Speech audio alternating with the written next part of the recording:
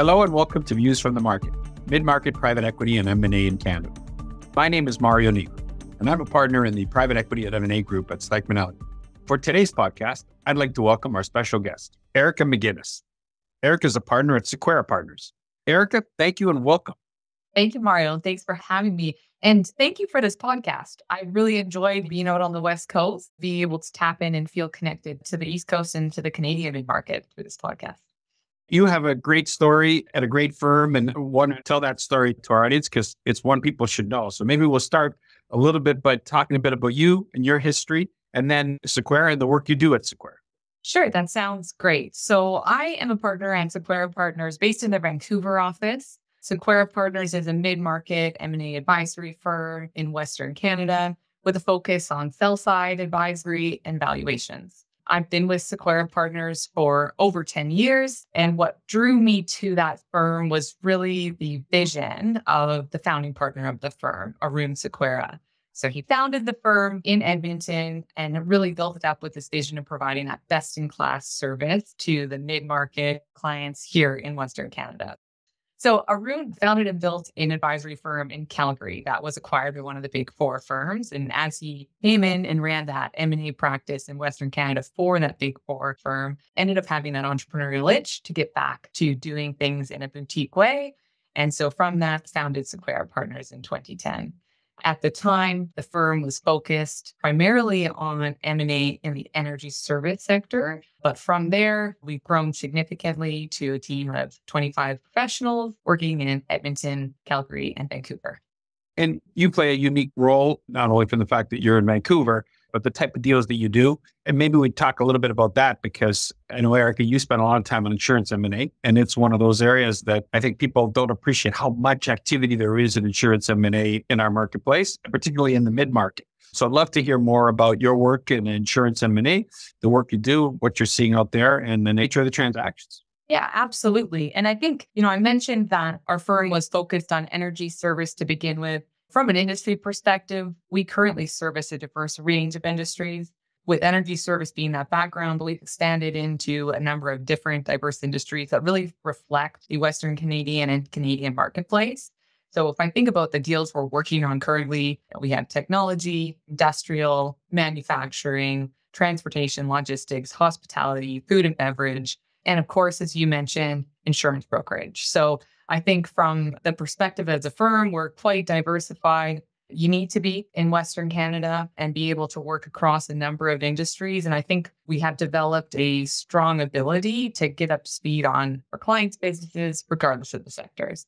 So, insurance brokers specifically, we've advised a total of 14 transactions since 2018, ranging from 15 million in enterprise value upwards to 200 million in enterprise value. We are in line to have two more closes, one in Q3 and Q4 this year, and really have built that up as a strong area of expertise within the firm. And that's probably where I spend 50 to 60% of my time. It's focused solely on that industry.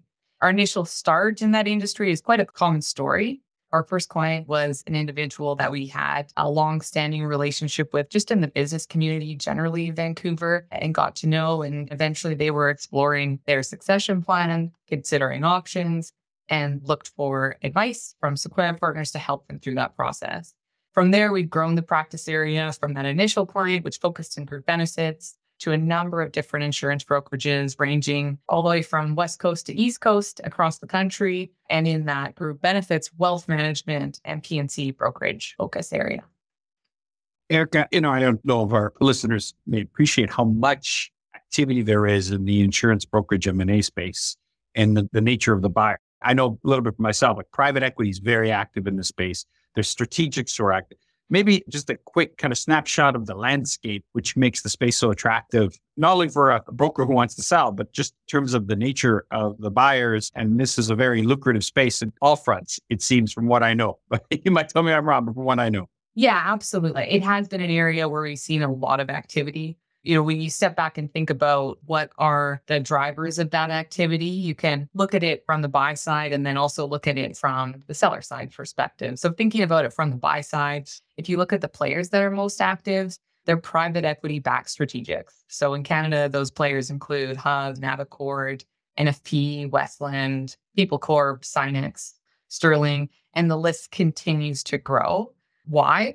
I think the business fundamentals of insurance brokerage line up really well with private equity investment strategies. Low customer concentration, high recurring revenue, embedded organic growth. It's a fragmented industry. There's been a lot of consolidation, but there's still a lot of opportunity out there because it remains highly fragmented. There's low recurring capex, sticky customer relationships, and it's type of business that is recession resilient. It does good in good times and pretty good in bad times as well. So this has continued to attract private equity investment in the sector, and I think will continue to do so. And the interesting thing, there's been a number of private equity firms who have had success in the sector nationally and internationally. It's almost created this ecosystem of folks that can then go out and cross pollinate as they move around to different private equity firms, share that experience, share that expertise, and have that insurance brokerage sector that more firms continue to look at. I mean, you highlight the nature of the space in terms of the sellers and the activity. Have the multiples of this space increased? Have the nature of the space increased with the increased activity?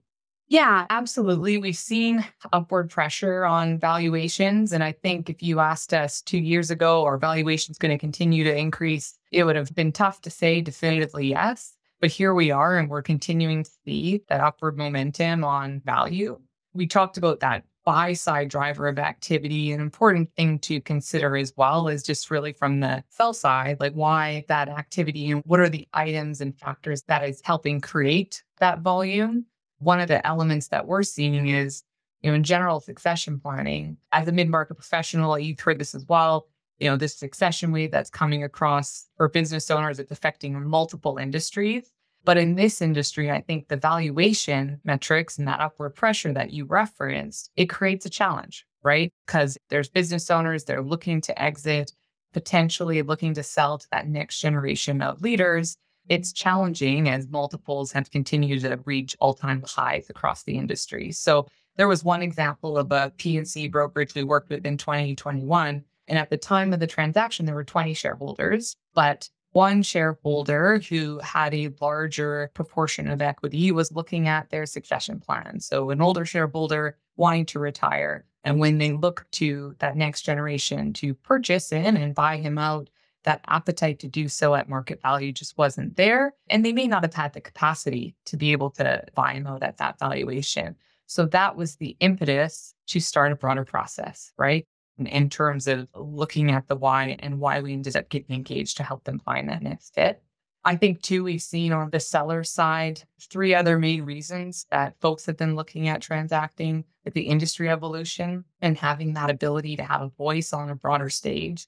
One of the transactions we worked on early on was around the time that G19 was being proposed in 2018. And G19 was effectively looking at taking regulation to the way that benefits brokers, life insurance brokerage disclose their commission. And there was this element that being part of a larger organization would enable you to have a stronger voice and enable you to participate in a better way in that dynamic. And that was the impetus for that deal in the wild, how that got some momentum behind it. And then I think overarching, there's this element of tech investment. Insurance companies generally, they're big, giant companies that are slow moving and have been around for a very long time. You're seeing this need for tech investment to continually improve the client experience and also make things more efficient. So as people look at the, how am I going to continue to service my growing client base when it's so much harder to find good talent in our industry? Like that's a challenge that this industry is facing, among with many other industries across Canada. But finding those people, like, can you look to technology to invest in and create that efficiencies? And so that piece has well been a driver to why it may be worth exploring partnering with one of the larger consolidators in the space as well. Erica, you know, we've been seeing insurance M&A activity that's been strong for years. And it's interesting because I would have thought that the consolidation has taken place already. And yet every year you still see more activity. Even with all this activity, how consolidated is this space? Are we at the top of the curve with the sense that there's not many left? Or is it one where even though we've seen it for many, many years, there's still a lot more to come?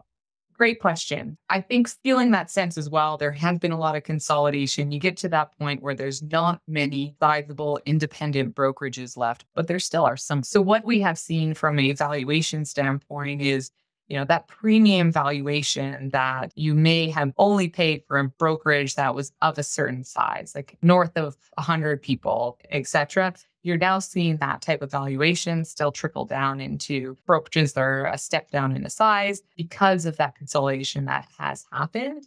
And there's not that many independent brokerages left out there. But I think we're still seeing activity. We're working with a couple, kicking a couple processes off right now. And there still are sellers out there the challenge at this space too is those sellers that haven't sold at this point, it's not like they haven't been approached, right? The consolidators at this space are very active. They have robust corporate development teams. They're actively out there connecting with both so usually there has to be that why, you know, as you think back to the factors that we talked about on like what drives that sell side activity, there has to be something that changes in there from their perspective to want to explore a deal. And I think for some where they haven't yet, it just hasn't been the right timing for them. But that doesn't mean that it won't ever be. It's just a matter of the right timing hasn't come along. Okay. Well, we have you want to take advantage of obviously Sequeira and your expertise on the West Coast and particularly when it comes to the middle market. One of those people who sees the West Coast as an underserviced, great middle market environment where there's just gems of companies that a lot of people just don't go after, which they should. I mean, I want to get a sense of you is the market still strong? Is activity still strong on the West Coast? Are you seeing anything unique about deal activity on the West Coast from your experience? Yeah, you know, absolutely. We're still seeing a strong amount of activity on the West Coast. I think as a firm right now, we have 16 active mandates across a variety of industries that I referenced previously. The challenge is, I think, if the activity is still there, processes are taking longer. You know, I'd say that's something that we've noticed, just folks digging in a bit stronger in due diligence, processes taking like a month or two longer and extending out, but the activity is still there. Right. And so the challenges that we've faced on some processes is there any seller buyer valuation disconnect? Still closely in the rearview mirror, what is that years of 2021 and 2022, even where we were seeing those record level of value and activity in the sector. And so thinking through how do we creatively bridge that, that's been coming up a bit more in transaction processes. And then also just digging in and taking the right time to get things done. But overall, from an activity standpoint, we're still seeing a lot of appetite and a lot of folks still need to go through their succession planning, considering transactions.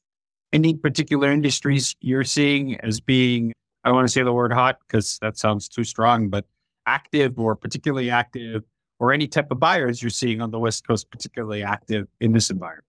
Yeah, absolutely. So we've talked a lot about insurance brokerage, and we still see that as a very active base that we're working in across Western Canada. Engineering, environmental consulting, like we're seeing that space be another sector that we're spending a lot of time in. Those industries are very different, but they tend to be people driven businesses that you can drive some or conclude some similarities from. And then beyond that, you know, I think our bread and butter industrial businesses, there still is a lot of activity out there and if you take where the firm is at today, and it sounds good news for all of us, including me, that you, know, you guys are busy. When you're busy, I'm busy. So that's the awesome news. Where do you see the market going? I mean, it sounds like it's still strong in terms of at least activity. I always ask our guests the crystal ball question, where they see the rest of 23 and where they see 24 from where you're sitting and the work you do. Where do you see activity going in terms of getting deals done and opportunities in front of you? Yeah, I think there are a lot of moving parts, and I do not have a crystal ball you know, we do see a strong amount of activity in the market. You know, as I mentioned, things are taking a bit longer, but the fundamental drivers of mid-market M&A are still there. And so I think we expected to see the rising interest rates dampen valuation. We have seen that in some industries. We've been talking about insurance brokerage today. We've yet to see it in that industry specifically. Know, I think from that perspective, we're still seeing upward pressure on valuations and we're still moving those processes forward. That prompted me on one story on a recent deal that we've gone through, which I think is an interesting indication of the insurance brokerage market specifically. We went through a fairly broad process and approached a number of different parties to find that right fit. And in our initial bids, we saw a gap of 117% between the lowest bid and the highest bid. And that's particularly surprising because all of these players are active market participants. They're all folks that you classify as those typical consolidators. And you would think from a sell side advisor perspective, they would be very aware of current pricing trends and what's going on in the space. But the takeaway for me from that was it indicated that disconnect, probably driven by on the low end, that party is maybe increasing their discipline in their M&A strategy, being a bit more calculated in their fundamentals and their approach to value. And then on the high end, you were seeing that party really lean into, okay, this fits in our strategic priorities, and we're willing to come to the table with something very compelling, despite some of those macro factors that are out there and being at play. So, you know, if we had that same process two years ago, that gap, which we've had, that gap is in that 20 to 25% range. And so, takeaway from that process to me was really there are some market factors at play. It's not necessarily a given that valuations are going to be here. There are parties that may be leaning out in certain processes. But that being said, there's still going to be very successful outcomes for business sellers and owners in these instances. Erica, I wanted to say thank you for joining us. It's been great to have you on multiple levels talking about, you know, your experience with insurance brokerage M&A and activity in the space, but then also talking about Sequeira and activity in Western Canada. It's a great perspective and uh, really appreciate you joining us. Appreciate the opportunity to be here.